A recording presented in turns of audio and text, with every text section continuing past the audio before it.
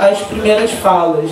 Como temos aqui uma limitação estrutural, é, não comporemos a mesa integra, integralmente de uma única vez. Faremos em duas partes. Chamaremos uma primeira parte agora, ficará na mesa, fará as falas. Quando todo esse bloco se encerrar, a gente chama o próximo bloco. Tudo bem? Então.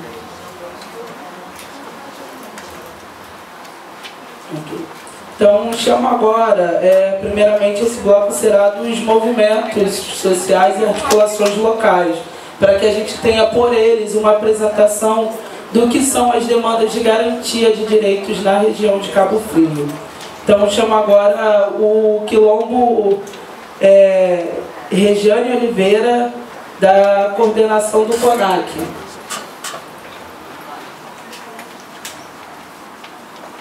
Associação de Quilombos, né? A coordenação de quilombos.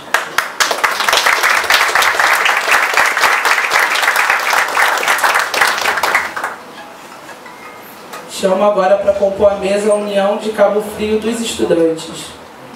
União dos Estudantes de Cabo Frio, né?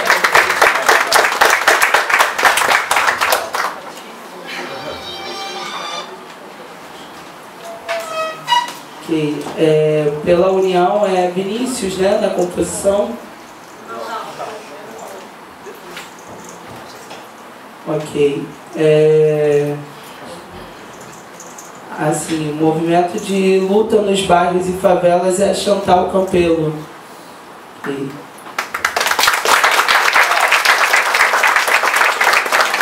É, Coringa, Marcelo Dias, pela Batalha do Forte.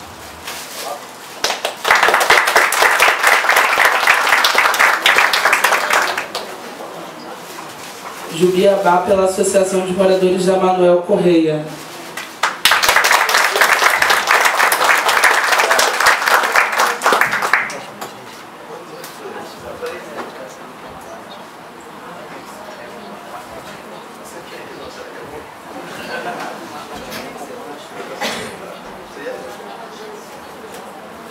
É, queria, antes de passar a palavra aqui para os nossos é, articuladores territoriais, eu queria dizer o quanto que esse momento é importante para a nossa democracia.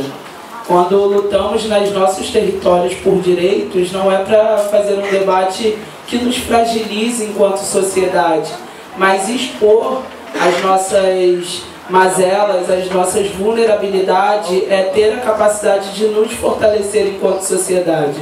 Então, trazer o movimento social de Cabo Frio para dentro da prefeitura e fazer esse diálogo aqui junto às secretarias é, é, é uma, é, é, um momento importante, um momento simbólico também, um momento que for, nos fortalece enquanto democracia. É, sem mais delongas, passo a palavra agora para a Regiane. Regiane, você dispõe de quatro minutos, aí eu vou avisando aqui para você, tá bom? Bom dia a todas e todas. É, eu sou Regiane, eu sou do Quilombo de Maria Joaquina, mas eu estou aqui representando a Coordenação Nacional de Comunidades Quilombola. E aqui sou do município de Cabo Frio, né? E nós sabemos que hoje nós temos grandes dificuldades. Nós sabemos que a violência ela aumenta muito na questão, né, principalmente para o povo negro. É, muitas das vezes a gente quer buscar é, socorro, a gente quer organizar, seja uma manifestação, seja um evento nosso, nós sempre temos é, esse desconforto, né, porque é um racismo que está embutido, né, que tudo do povo negro sempre tem confusão. A gente, que eles acham isso, né, tudo sempre do negro, ele acha que né, não, é, não é do jeito deles. E a gente tem vivenciado muito isso, a gente tem vivenciado, vivenciado casos né, que a polícia ela vai muito mais, né, ela vai muito mais assim, ela bate muito né, nos adolescentes, nos jovens, a abordagem é muito complicada, né, muitas das vezes eles batem mais no negro, não batem no, no, no, no, jovem branco, eles batem muito, e aí eu costumo sempre falar, poxa, se a mãe for bater, né, tem um conselho tutelar, mas a polícia está batendo de uma forma muito pesada, né, que às vezes a gente tem que tentar intervir né, nessa questão. Eu lembro que teve um evento agora, há pouco tempo, no Quilombo de Botafogo, é, fazendo uma manifestação sobre melhoras para aquele bairro. Né, teve uma grande confusão, a polícia ela agiu né, de muita violência né, naquele povo, naquela comunidade, as pessoas ficaram muito é, é, tristes. Por quê? Porque nós esperamos que a polícia, que ela venha é, trazer segurança, mas uma segurança também, principalmente comunidade, uma polícia comunitária. Uma, uma polícia que não seja é, é, tão violenta, né? porque primeiro bate, depois pergunta. Primeiro mata, depois discute. E eu tenho várias vezes né, acompanhado na, em Maria Joaquina, porque a gente sabe que as comunidades, o tráfico chegou nas comunidades, e a gente vê que muitas das vezes os jovens negros, eles não estão armados, mas eles são mortos. Eles não estão armados e eles pedem socorro por isso. O que eu quero dizer é que as comunidades quilombolas, por estar afastadas das comunidades, do, do, centro da cidade, elas quase elas não têm segurança nenhuma. E sempre nós sabemos que onde tem quilombo, sempre tem pessoas que não são quilombola que está próximo à, à comunidade quilombola. Então nós precisamos né, de uma segurança efetiva, nós precisamos de uma segurança que venha dar qualidade de vida porque hoje eu não estou morando dentro do meu território, deputada. Eu estou no programa de proteção. Eu tive que ser retirada da minha comunidade, de onde eu nasci, né, porque assim eu sou defensora do direito, né, defendo a questão territorial do meu quilombo. Hoje mesmo cheguei aqui escoltada, né, então a gente tem que andar escoltado por quê? Para ter o direito à minha vida.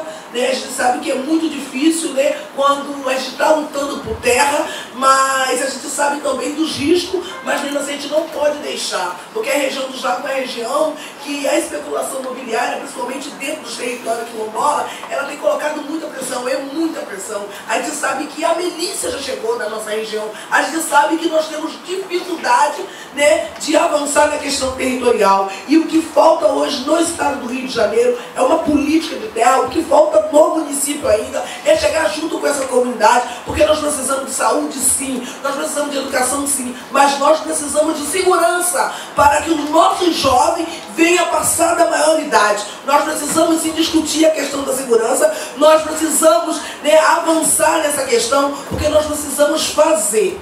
Principalmente aqui em Cabo Frio, eu sei, eu acompanhei né, o, o, grupo de hip hop, assim como essa violência aconteceu no hip hop, acontece nas outras comunidades, principalmente nas comunidades quilombolas. Se nós formos fazer um evento lá, você sabe que tem limite. A polícia para, ela para uma roda de samba, ela para um evento de futebol em certo horário. Então eu acho que a gente tem que começar, a deputada, fazer mesmo essa discussão, falar sobre essa, é, a, a segurança e até mesmo fazer um trabalho de conscientização, porque a gente sabe que o cenário não é propício. A gente sabe que o cenário agora é querer matar o negro, é tirar o negro do cenário e as comunidades que não colam.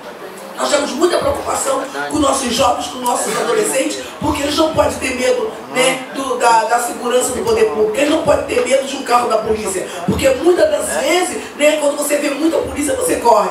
Eu tiro pela audiência que teve lá no Quilombo, teve a Polícia Federal, teve várias polícias, as pessoas ficaram com medo, as pessoas ficaram com medo de participar, porque não sabem em quem confiar. Né? Agora mesmo eu vim escoltado, eu falei, meu Deus, será que eu confio? Será que eu confio né, de vir, ficar andando no carro da polícia? Por quê? Porque a mesma que defende, né, que te dá segurança, é a mesma que te oprime. É a mesma que te impede de fazer a sua manifestação. É a mesma que diz que te dá segurança, mas é a mesma que tira a tua vida. É a mesma que está ali, juntando. Então que esse município, que nós venhamos né, criar né, algo, devemos criar nesse dia de hoje, propostas juntos, junto fazer um programa, junto trabalhar com a comunidade, principalmente as comunidades, né? As comunidades de é, periferia, os quilombos, as favelas, né? Essas comunidades que são mais atingidas. Porque nós vemos que no centro da cidade é totalmente diferente, né? Nós vemos que é totalmente diferente o sistema de segurança de uma comunidade de favela, de uma comunidade quilombola. É diferente sim é porque eu estou vivendo isso, estou na cidade, fui tirado do quilombo e estou na cidade e a cidade você ligou e vem. No quilombo não, você pode morrer de ligar. Violência contra a mulher, se você for violentada, não tem como você ligar. E quando você chega na delegacia, muitas das vezes você é atendido por homem. E muitas das vezes você não consegue registrar o boletim de ocorrência né, naquele tipo de violência, porque primeiro pesquisa e se for de interesse né, interesse de alguém que é amigo do outro, eles não registram. Eles não registram. E eu falo isso porque eu só consegui registrar né, as minhas questões no Ministério Público Federal. Até aí ninguém conseguia registrar o boletim, porque é amigo de fulano e é ciclano. Eu estou falando porque eu isso na pele. Eu fui ameaçada durante o mês de março, todo mês de março. Eu fiquei escondida dentro da minha casa. E eu estou falando que nenhum momento, nenhum momento se pensava em retirar se não fosse o movimento nacional de comunidades quilombola. E assim agradeço a minha fala.